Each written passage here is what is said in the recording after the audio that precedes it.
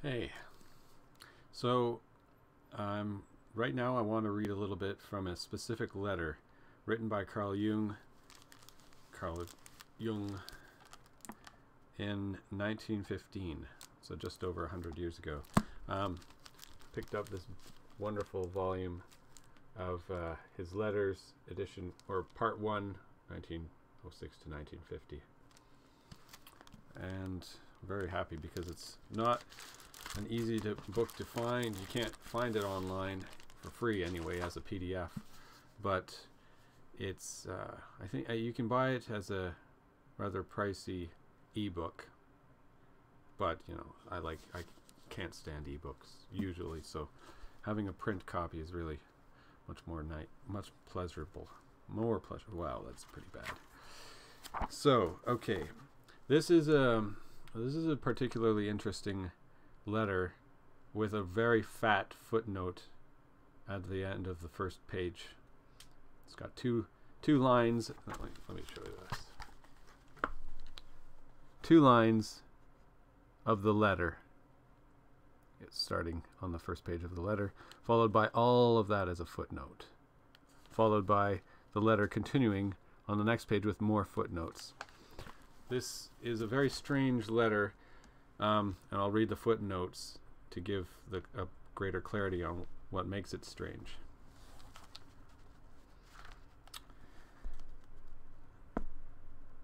There's also Greek words in this a little bit, so I might have to pause just for a moment.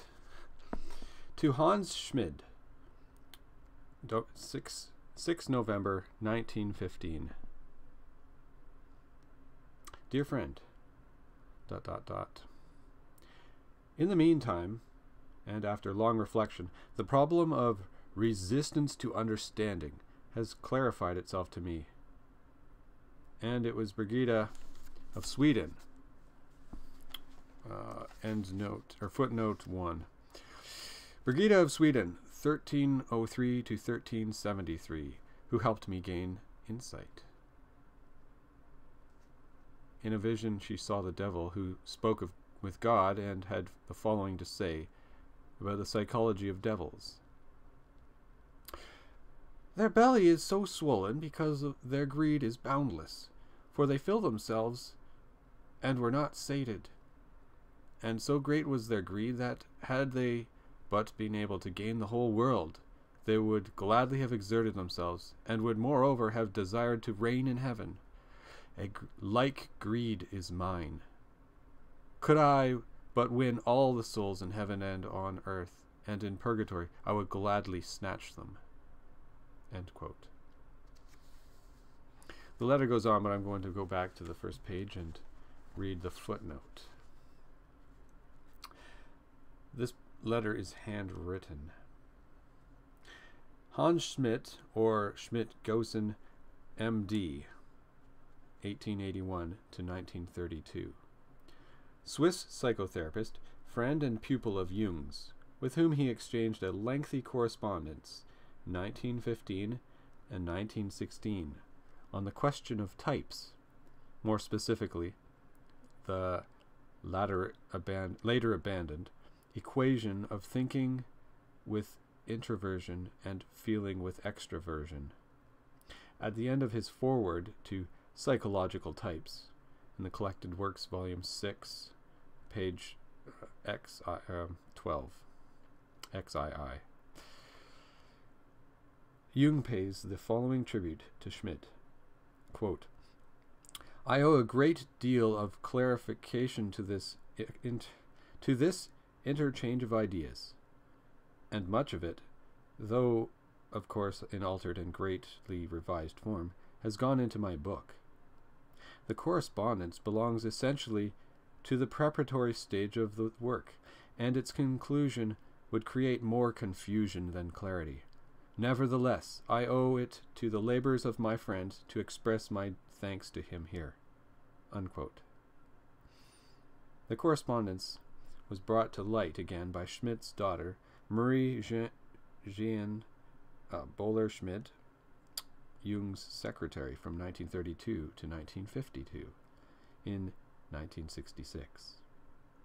the editors of collected works concurred with Jung's view that its inclusion as an appendix in collected works 6 would quote unquote would quote create more confusion than clarity unquote and held it to be too technical and prolix for inclusion in collected works volume 18 a volume of miscellaneous and posthumous writings some hitherto unpublished the passage reproduced here forms a wholly unexpected personal codicil to Jung's long letter of 6 November uh, 1915.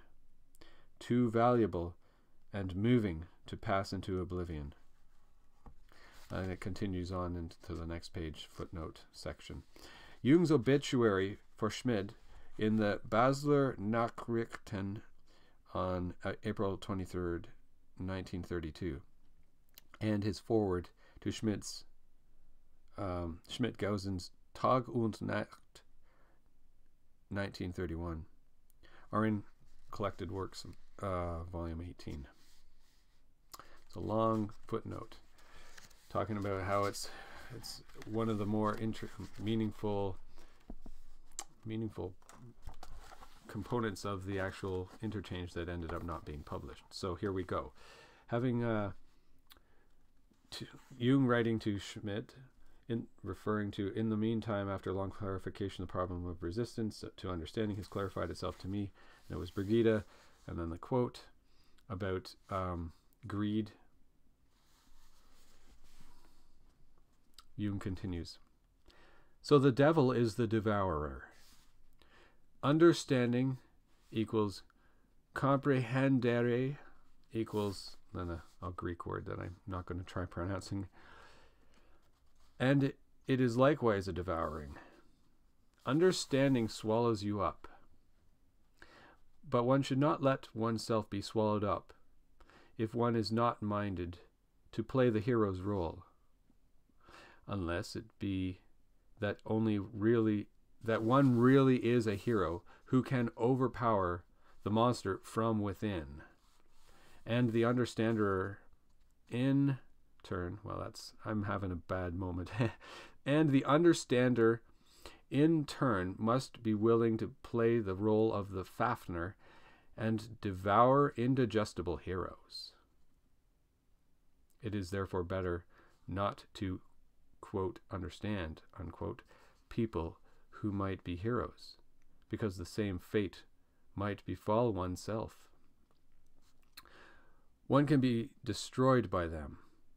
In wanting to understand, ethical and human as it sounds, there lurks the devil's within will.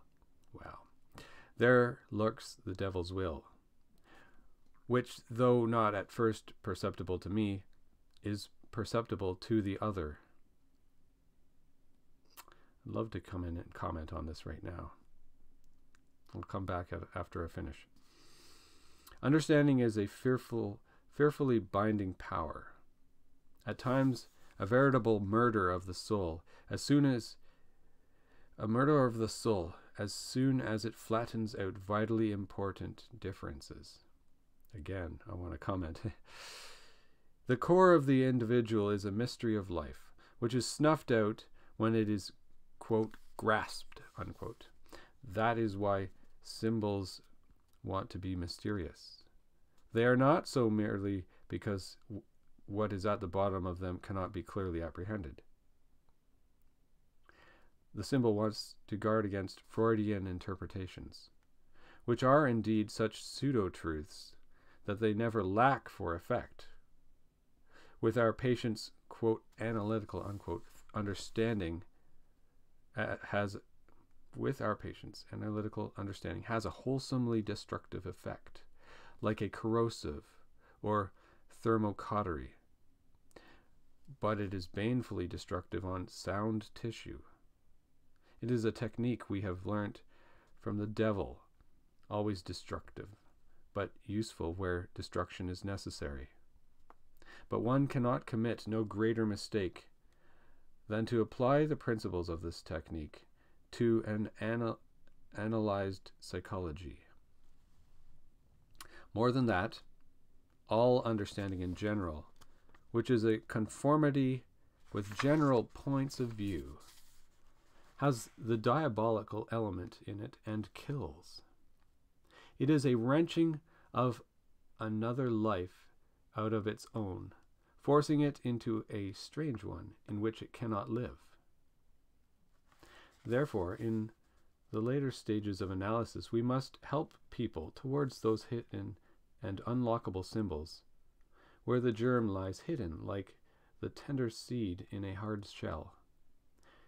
There should truly be no understanding in this regard, even if one were possible. But if understanding is general and manifestly possible, then the symbol is ripe for destruction, as it no longer conceals the seed which is about to break from the shell. I now understand a dream I once had, which made a great impression on me. I was standing in my garden and had dug open a rich spring of water that gushed forth. Then I had to dig another deep hole, where I collected all the water, and conducted it back into the depths of the earth again. So is healing given to us in the unlocking and in, in the unlockable and ineffable symbol, for it prevents the devil from swallowing up the seed of life. The menacing and dangerous thing about analysis is that the individual is apparently understood. The devil eats his soul away, which, naked and exposed, robbed of its protecting shell, was born like a child into the light. That is the dragon, the murderer, that always threatens the newborn divine child. He must be hidden once more from the understanding of humanity. True understanding seems to be one which does not understand, yet lives and works. Once, when Ludwig the Saint visited the holy Aegidius incognito, as and as the two who did not know each other came face to face, they both fell to their knees before each other, embraced and kissed, and spoke no word to together. Their gods recognized each other and their human parts followed.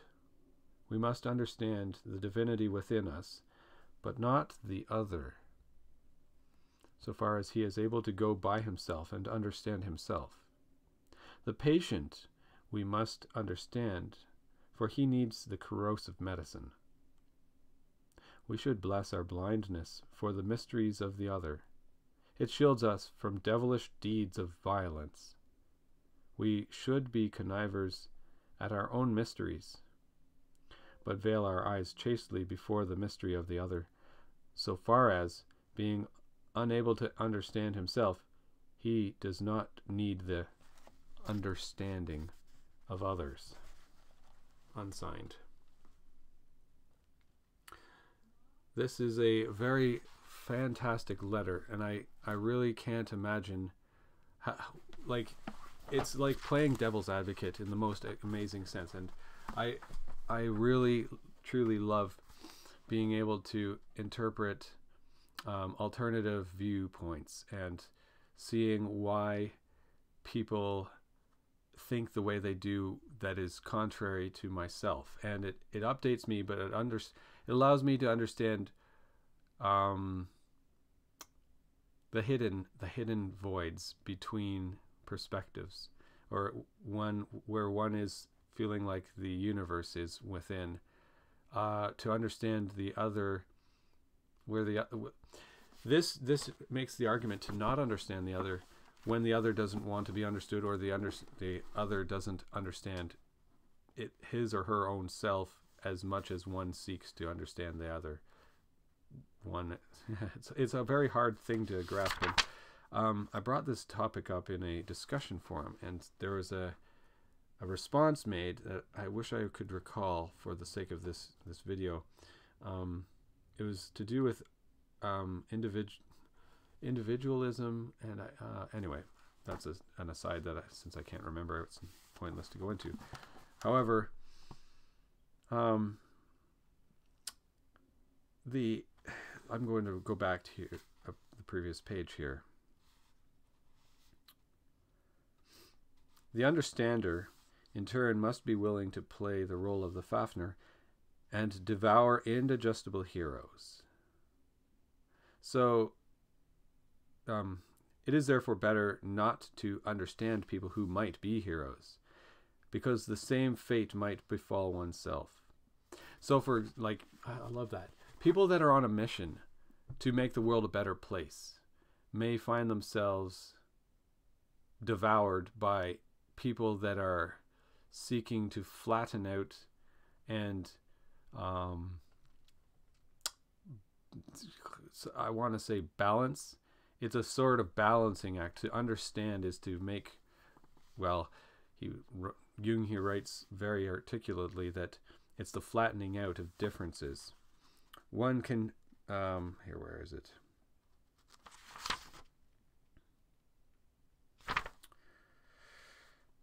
The flattening out of differences. Um, moreover,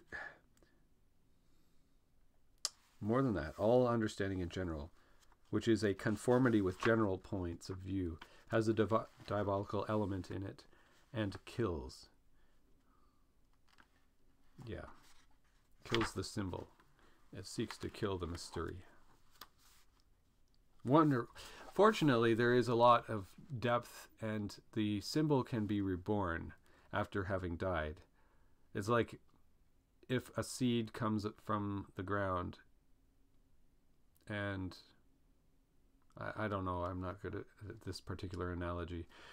Uh, I want to say if the seed comes from the ground and grows into a tree, the seed dies, but then the the tree in its pure sense is understood by being excavated, ripped out by the roots.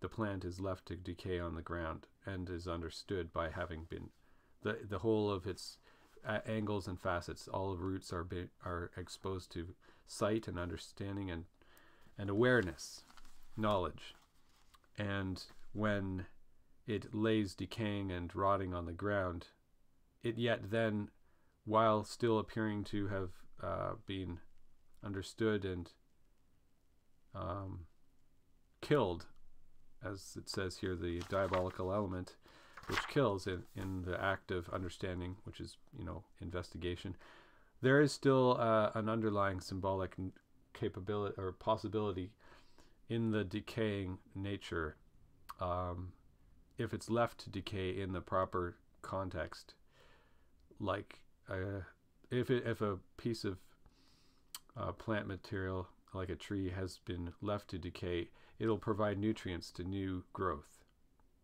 if it's removed and just thrown in the fire and burned then it I mean, uh, this is metaphorical, but it, it, you know, it provides heat, yes, but it doesn't provide any new nourishment for further growth. So I'm going to continue on after that.